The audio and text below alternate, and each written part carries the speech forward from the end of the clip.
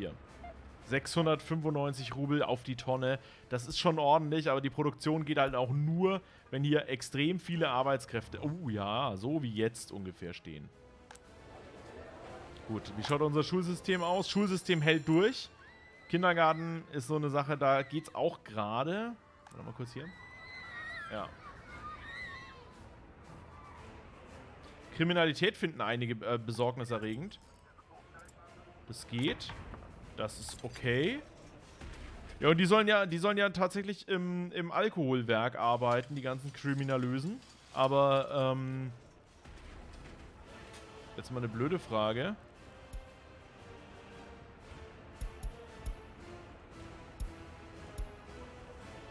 Wo ist der? Der fährt jetzt zurück. Oh, ich sehe hier keine Gefangenen. Hat er keine mitgenommen? Warte mal kurz. Wir müssen die Linie vielleicht nochmal anpassen. Haft. Der fährt ja hier runter, ja? Bisschen, bisschen nach Zwergbräu.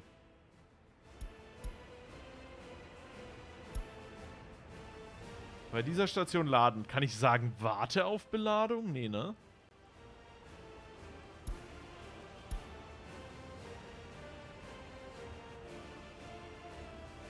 Vielleicht ist das auch zu weit.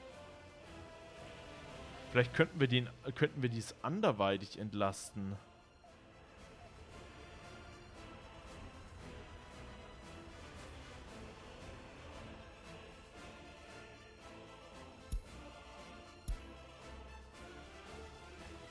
Abwasser? Minus 18 Rubel.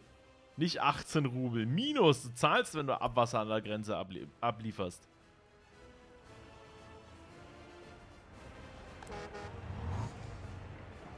Ja, wir müssen mal gucken, wo wir unsere, unsere, ähm...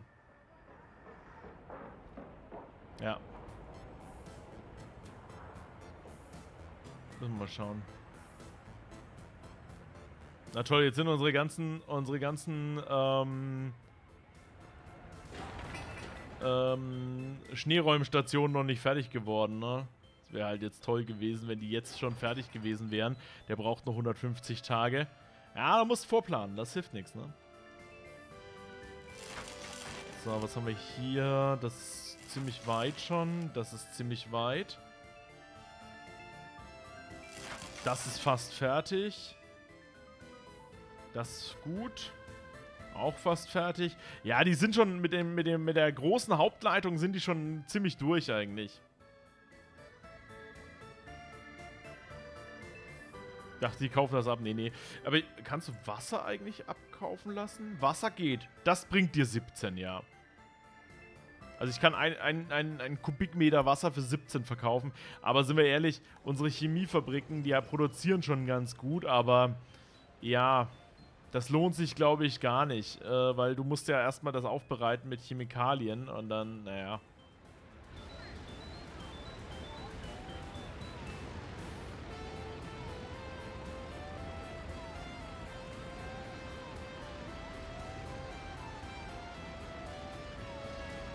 Fährt der runter?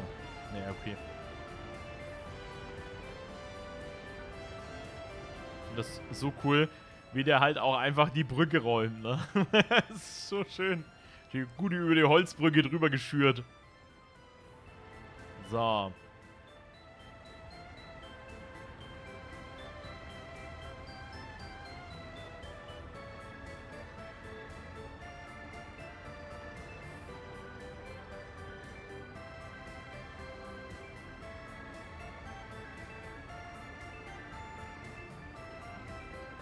Zweites Geothermiekraftwerk.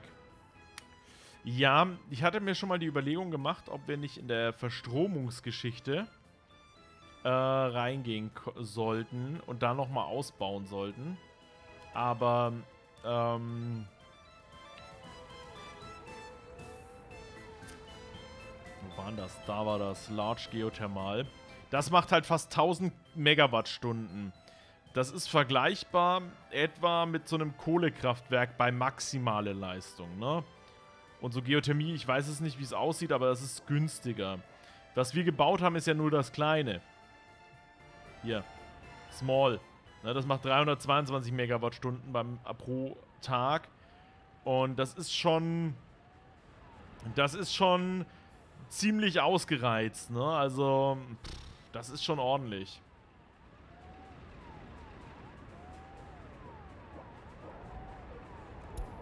Oh, oh, oh.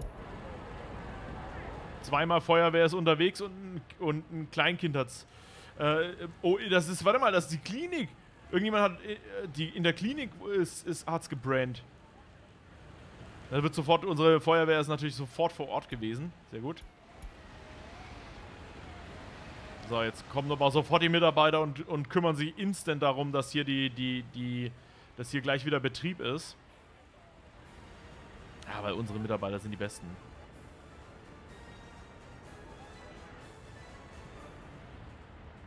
...1400 Megawatt ähm, Stunden sind 48 Megawatt Dauerleistung.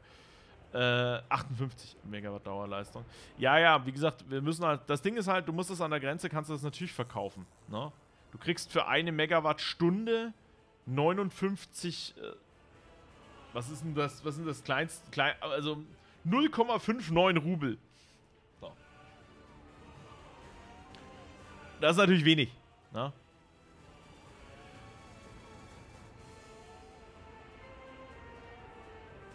So.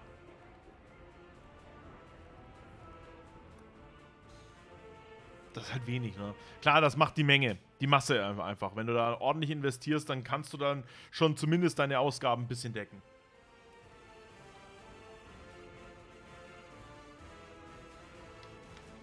Müll importieren bringt dir Geld, natürlich. Aber was machst du dann mit dem Zeug? Dann kannst du ein, ein, ähm, äh, ein Depot oder eine Müllhalde nach der nächsten bauen. Das ist halt auch nicht so, nicht so einfach.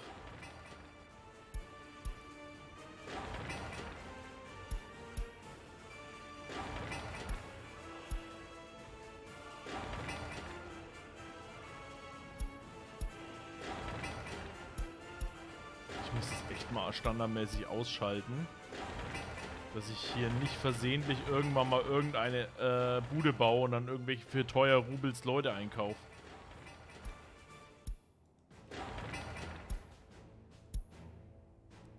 Gut.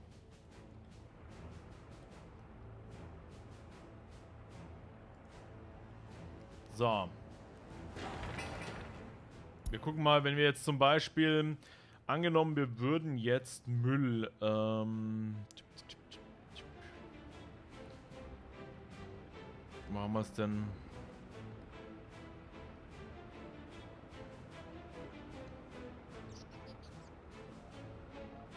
Wurde ja vorgeschlagen, zum Beispiel Sondermüll.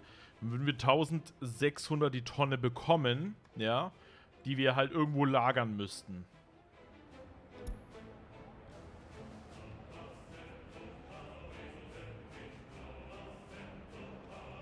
43 Megawattstunden mal 0,58 Rubel sind 25 Rubel am Tag, mal 30 sind 751 Rubel, sagt Markus gerade.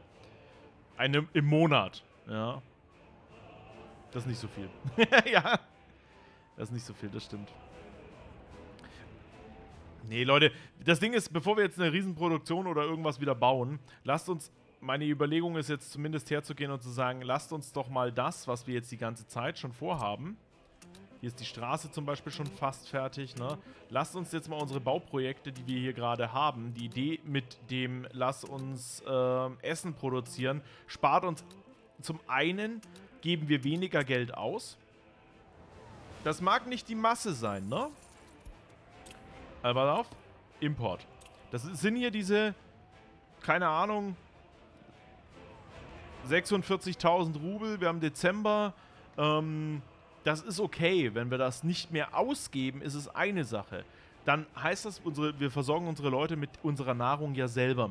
Die andere Seite der Medaille ist allerdings immer noch die, ähm, dass wir ja auch exportieren. Das heißt, wir machen, wir geben nicht nur weniger aus, sondern wir nehmen sogar deswegen stattdessen noch mehr ein. Also es bringt uns gleich doppelt was. Weil wir das ja auch sofort dann in den Export packen, weil die Essensproduktion relativ schnell läuft. Auch dafür ist es gut, dass wir dieses Teil hier gebaut haben, diese Brücke. damit wir schneller die Arbeitskräfte dann hier hinten abliefern können. Da muss ich mal ganz kurz gucken, haben wir hier schon eine Bushalte? Nee, ne? Wir würden die direkt am, am, am Werk abliefern. Ja gut, das ist hier eigentlich auch egal. Können sie machen. Aber auch das wird teuer erstmal anzustarten, weil wir brauchen dann nochmal neue Traktoren, neue Mähdrescher und so weiter. Ähm, und dann muss man das erstmal ein Jahr lang laufen lassen, dass die, die, die, äh, das Silo ein bisschen füllen kann, bevor wir dann da Dauerbetrieb einleiten und so. Also ja, da ist schon, da ist schon ein bisschen was vor, aber das, das kriegen wir schon hin. 46.000 weniger an Ausgaben, die in die Tilgung fließen können. Das ist richtig, Nitram. Das ist absolut richtig.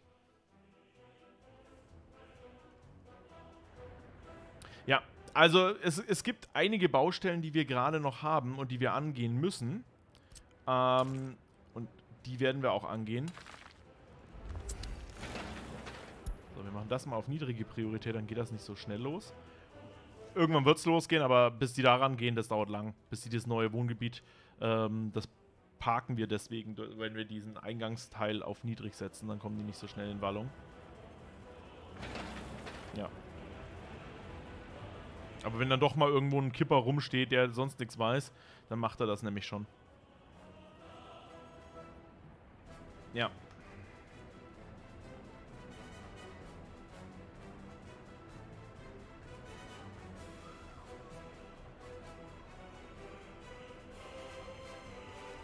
Ja, wir können momentan kreditmäßig noch 1200 ähm, Rubels, äh, 1,2 Millionen Rubels aufnehmen. Das ist natürlich ähm, nicht viel, ne? Das ist schon. Pff, also 1,2 äh, Millionen Rubel, das hält dich noch eine Weile über Wasser. So ein Jahr, zwei Jahre kriegst du schon noch gut mit rum. Aber dann wird es irgendwann Ende. Das Ding ist halt, wir steigern uns ja. Ne? Also momentan Export 12.000 im Export, 24 im Import. Äh, wir nähern uns schon dem, dem Stand, den wir brauchen eigentlich. Der Import ist allerdings auch eine relativ regelmäßige Frage, wie viel geben wir durch neue Baustellen aus. Das heißt, auch da musst du berechnen, da wir, ba wir bauen ja ständig weiter. Und vor allem bauen wir auch teurere Sachen. Also wir bauen, ähm, hier zum Beispiel geht sehr viel Stahl rein. Sobald du Stahl importierst, wirst du eh arm. Deswegen, man muss das immer gucken. So, okay. Ähm, jetzt gehen wir mal ganz kurz dran. Die Gerichte schauen gut aus. Aufklärungschance ist hier gut. Die Untersuchung läuft. Das ist, da brauchen wir jetzt erstmal niemanden mehr. Hier haben wir 14 Häftlinge. Die müssten eigentlich arbeiten. Da müssten wir eigentlich mal ein paar mehr Leute einstellen. Mal 11 oder so. Sicherheit ist hier nicht so gewährleistet, fürchte ich.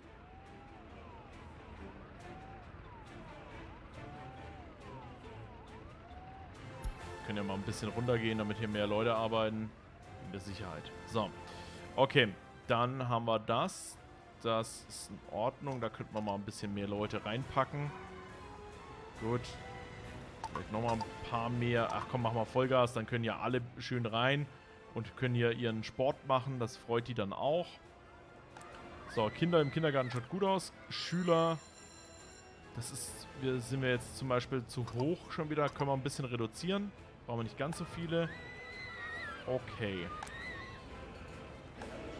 Das läuft. Okay. Da ist mehr als genug Platz im Kino. Wie schaut es im Botanischen aus? Das ist auch viel Platz. So, hier ist Maximum an Betrieb. Das ist okay für mich.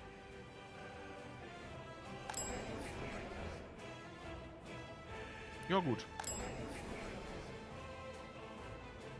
Ist okay. Gut. Gamekicks, ein wunderhübschen.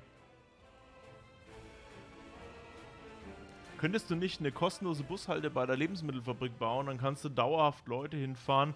Es würde dann die Baubüros entlasten.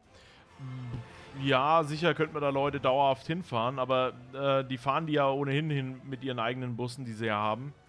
Ähm, das Problem bei der dauerhaften Geschichte ist, wenn dir da mal irgendwas ausgeht in der, in der Belieferung, ja, ich meine, das ist jetzt bei, sobald sich da Start, äh, der Status von einer Ebene oder von einem Stufenteil auf den nächsten ändert und du hast noch die Ressourcen nicht hin, dann hast du zwar die Leute hingekarrt, die können aber nichts arbeiten.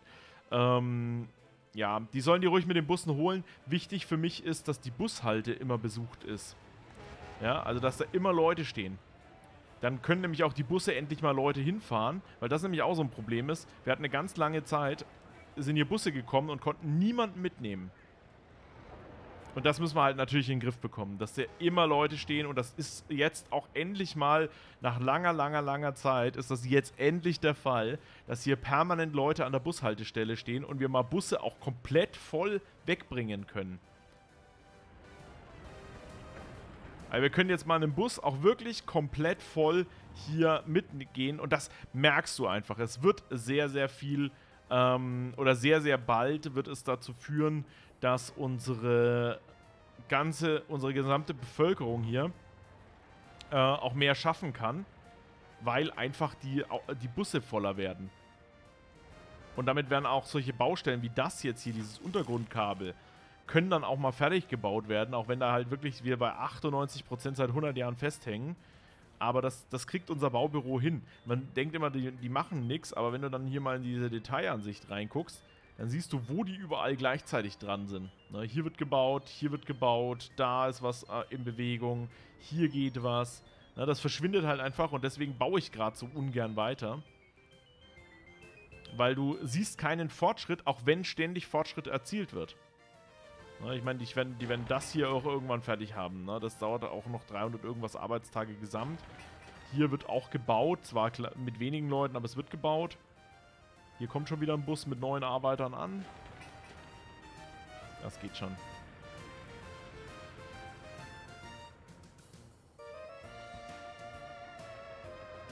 Kann helfen, Baustellen neu zu priorisieren. Ja, du, im Endeffekt, wir, unser größter Feind ist gerade jede Baustelle. Wir müssen erstmal schauen, dass wir weniger haben, damit sich auf die wenigen mit dem einen Baubüro, das wir haben, konzentriert werden kann. Weil jetzt, wenn ich dann den, den Strom nächsten Frühling neu strukturieren möchte, damit wir auch endlich mal eine gute Stromleitung hier runter bekommen, ja, auch gerade ähm, hierhin möchte ich gerne eine Stromleitung haben. Dann können wir nämlich die Stromleitung, die oberirdisch hier lang läuft, auch wegcanceln. Ja? Die, kann dann, die kommt dann weg. Die schließen wir dann hier unten direkt an. Und hier kommt dann nur noch eine Durchleitung rein, die dann nach da hinten auch noch geht. Ähm, dann kriegen wir langsam auch mal ein richtiges Stromnetz hin. Das, das wäre so eine Sache. Ähm, da möchte ich aber diese kleinen ähm, diese geringen Spannungswerte möchte ich da aber erstmal rausnehmen, sondern hier wirklich mit großen Stromtrassen und so Zeugs. Da müssen wir aber alles umstrukturieren. Das wird ein bisschen aufwendiger.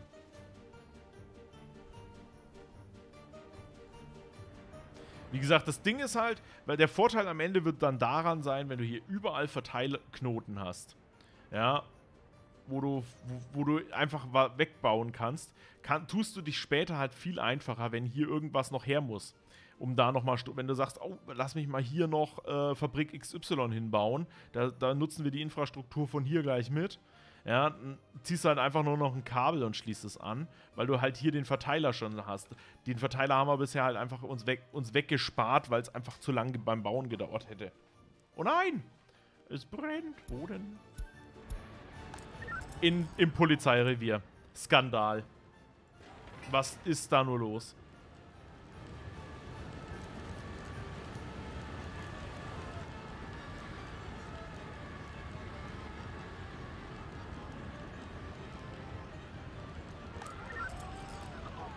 Im Polizeirevier. Das geht nicht.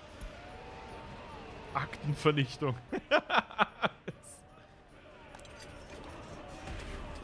Wir schauen unsere Gerichte. Gericht, also das Gericht kommt immer noch gut hinterher. Ich habe ein bisschen Sorge, dass die Polizeibeamten generell mit ihrem einen Trabi ein bisschen am Limit sind.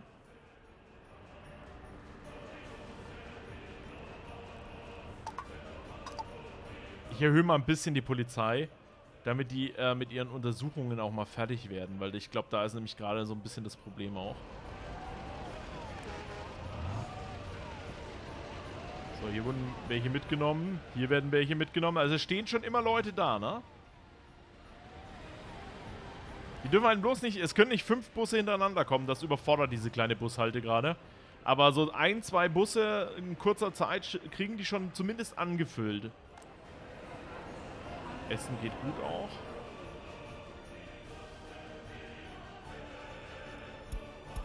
Ja, ich bin auch mal gespannt, wann wir das endlich hinbekommen. Ich weiß gar nicht, wo die, wo stehen denn die ganzen Kräne eigentlich?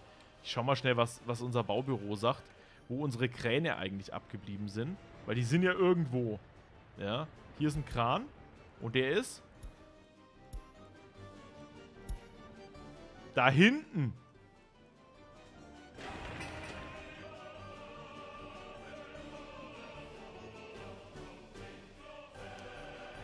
Baut denn der da hinten das blöde Ding auf, ha?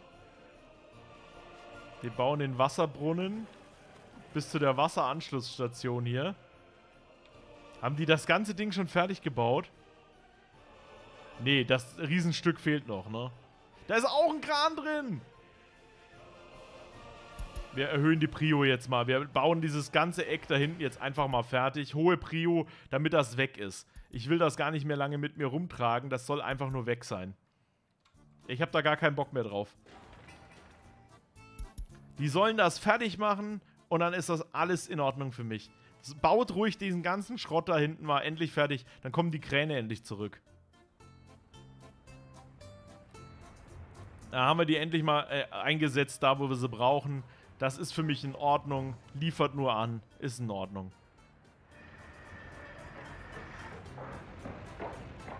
Wie gesagt, und dass die hier gerade mit äh, fast 50 Leuten diese Schneepflugstation bauen, das ist für mich auch in Ordnung. Na, die ist ja auch tatsächlich wichtig. Man sieht es jetzt, hier ist äh, knapp gestreut. Aber auch, ja, schon fast wieder zugeschneit alles. Hier die Ausfahrt ist komplett zugeschneit, also das ist blödsinnig. Da brauchen wir, wir haben aber auch ehrlicherweise nur zwei Schneepflüge. Also so langsam ist das Straßennetz gewachsen und da muss man auch sagen, wenn ein Schneepflug von hier raus losfährt und einer von hier raus und einer von da oben, dann wird das besser. Ja, und vielleicht von da hinten dann auch nochmal irgendwann. Dann, dann kriegen wir das auch ein bisschen ähm, im, selbst bei starkem Schneefall geräumt. So, da wäre er fertig. Erhöhen natürlich trotzdem den Bereich. Und der hat jetzt zum Beispiel die Aufgabe, überwiegend, der soll zumindest 50% Kiesstraßen bevorzugt machen. Ja, das ist schon geil, wenn der das hinkriegt. Und Brücken. Und dann versucht er nämlich die Hauptinfrastruktur zuerst zu halten. Ja, das ist nämlich schon wichtig, dass er die Hauptstraßen macht. Und danach erst die Nebenstraßen. Ist schon, ist schon besser, ne? So, kurzer Blick. Fahrzeugtyp, ja, 15 Arbeiter, also es gibt Arbeitskräfte. So, wie schaut das Ding hier aus? Das wird ja jetzt natürlich hoffentlich mal fertig gebaut. Wie gesagt, weil da ist ja jetzt ein Kran und der muss einfach weg. Der muss da raus aus dieser, aus dieser Geschichte. Der, wie gesagt, der, dieser Kran steht ja da seit 100 Millionen Jahren in der Baustelle. Und der Rest ist ja schon fertig auch. Das hängt ja schon am Hauptstrom, äh, am Hauptnetz, Abwassernetz hängt das ja schon dran. Ist ja alles schon gebaut.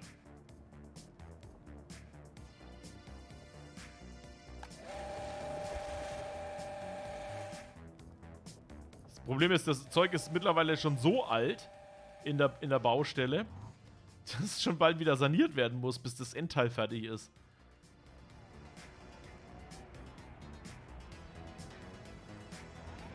Ah, Markus wird gerne einen Screenshot machen. Das kriegen wir doch hin, oder? Das kriegen wir doch hin. Warte mal, vielleicht so ein bisschen?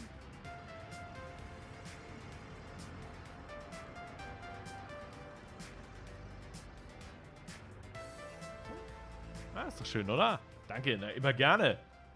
Für die Presse mache ich alles.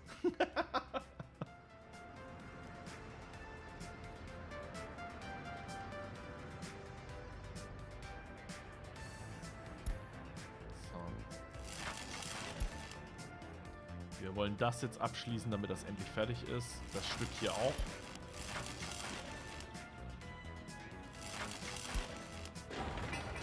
infrastrukturelle Sachen priorisiere ich jetzt einfach mal.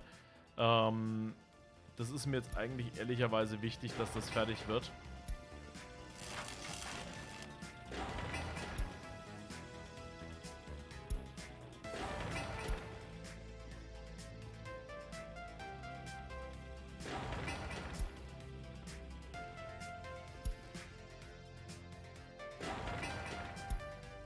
So.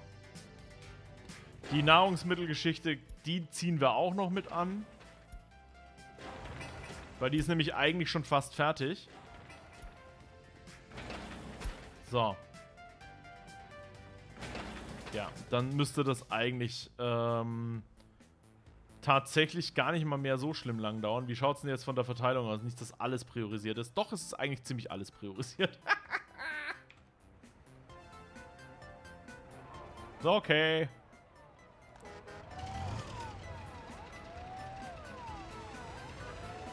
30 Arbeiter, wo fahren ihr hin? In die Kohlemine. Ach, bei der Kohlemine wird endlich gebaut.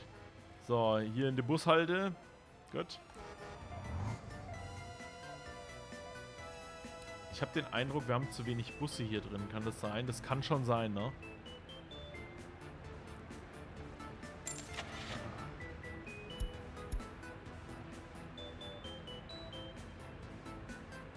So ein Bus mit 30 Passagieren wäre irgendwie gut.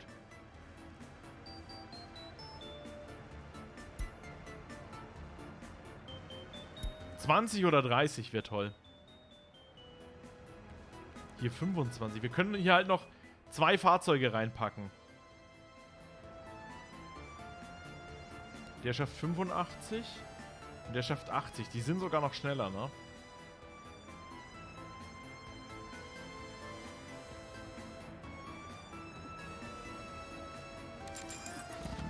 Wir holen zwei Busse. Ähm, das könnte gut gehen.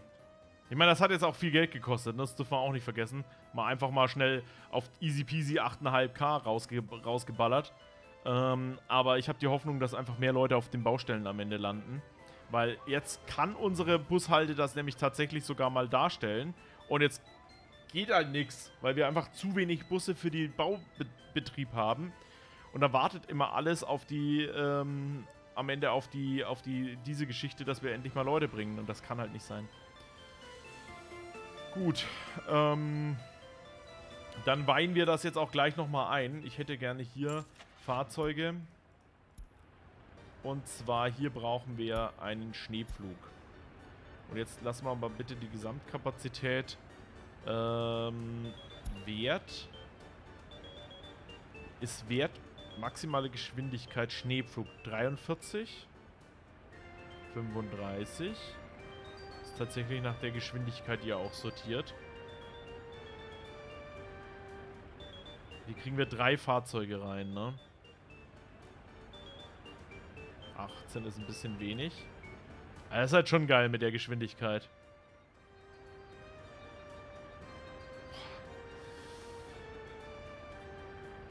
Einen kaufen wir erstmal.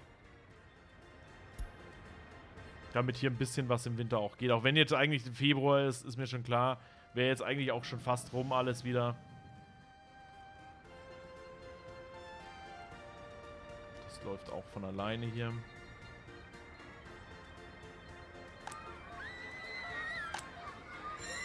Die Schule ist mittlerweile auch entspannt unterwegs. Könnten wir sogar noch fast ein paar Lehrer freimachen.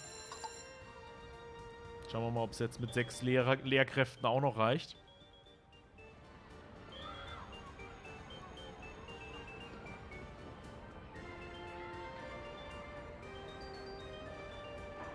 Ja. Gut, wenn das Neubaugebiet hier ähm, in der Verlängerung ist, dann könnten wir jetzt demnächst mit der Technischen Universität anfangen. Oder lassen wir es erstmal und warten das noch ab, bis hier tatsächlich die äh, ganze Geschichte mit der Nahrungsmittelfabrik frei ist. Was ein Artikel wert ist. Ähm, also was wir, was wir haben, oder was tatsächlich ganz gut ist, ist, dass wir die neuen Schneepflüge jetzt haben. Das ist sehr schön, dass das fertig geworden ist. Das Neubaugebiet ist jetzt in Planung, das hängt auch schon am Straßennetz dran. Hier, wird, hier werden deutlich mehr Blöcke entstehen, also noch viel mehr als das alte. Wenn du überlegst, wir haben hier vier Gebäude und hier haben wir schon sechs, sieben, acht Gebäude, sollen hier doppelt so hohe Entwicklung. Das ist schon, da ist schon, schon richtig Kapazität. Das Geothermiekraftwerk, ähm, das Wärme in die Haushalte bringt, ist tatsächlich schon in Betrieb. Das läuft jetzt auch. Ja, also ich, ich sehe da, ich sehe, das läuft schon. Ansonsten neuen Sch die, die, die Schneepflugstation ist klar. Wir bauen ein neues Abrissbüro. Das ist auch ziemlich, fer ziemlich fertig eigentlich. Das neue Abrissbüro wird ähm, dann wichtig werden, wenn wir hier unser gesamtes Stromnetz neu designen.